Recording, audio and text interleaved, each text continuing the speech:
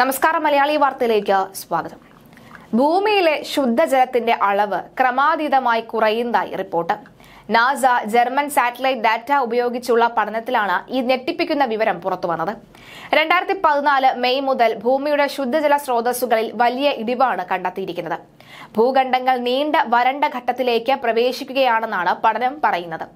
Surveys in Jio ഫിസിക്സിൽ പ്രസിദ്ധീകരിച്ച പഠനത്തിലാണ് ഇക്കാര്യം വ്യക്തമാക്കുന്നത്.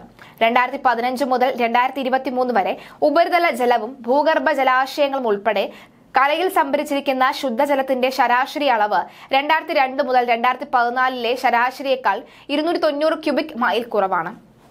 ബ്രസീലിലെ കടുത്ത വരൾച്ചയോടെയാണ് ഈ ഇടിവ് ആരംഭിച്ചത്. തുടർന്ന് ഒന്നിലധികം ഭൂഖണ്ഡങ്ങളിലുടനീളം വലിയ വരൾച്ചയാണ് ഉണ്ടായത്.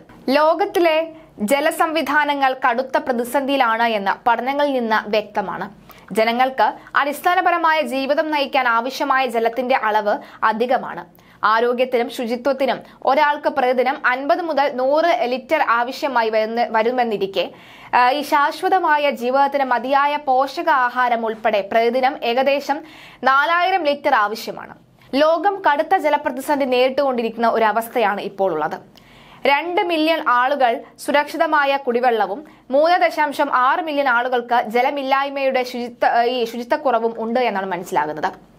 ഓരോ ദിവസവും ആയിരം കുട്ടികൾ അപര്യാപ്തമായ ജലലഭ്യത മൂലം മരിക്കുകയാണ്. രണ്ടായിരത്തി മുപ്പതാകുമ്പോഴേക്കും ശുദ്ധജലത്തിന്റെ ആവശ്യം നാൽപ്പത് ശതമാനം കവിയും.